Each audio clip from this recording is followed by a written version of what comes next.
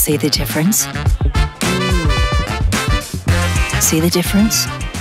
Wait, it's invisible. It's in the clean air.